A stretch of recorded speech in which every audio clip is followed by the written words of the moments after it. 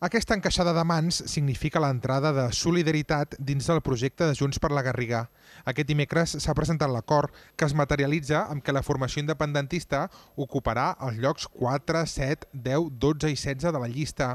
Els membres de la candidatura diuen que l'acord demostra que busquen unitat per afrontar el moment polític i social que es viu avui en dia. Són unes eleccions extraordinàries, que no són com les de cada any, que per tant cal prendre eh, altres accions i eh, ens cal ser excepcionals també i per tant doncs, per això no, no estem fent una candidatura com molt probablement la típica o la tradicional de partit perquè considerem doncs, que hem d'escoltar la gent, el poble, en aquest cas creiem que la gent ens demana unitat, creiem que ha de ser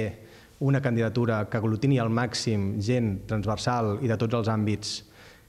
amb l'objectiu compartit de fer una Garriga millor.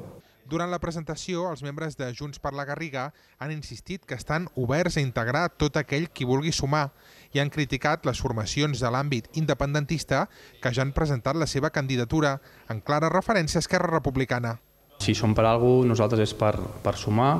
i davant de l'excepcionalitat de, del moment, d'unes eleccions en el context que estem, amb, amb presos polítics, amb exiliats, doncs tant de dins del grup com, com de fora del grup el que percebem és que la gent vol unitat i vol que anem tots junts.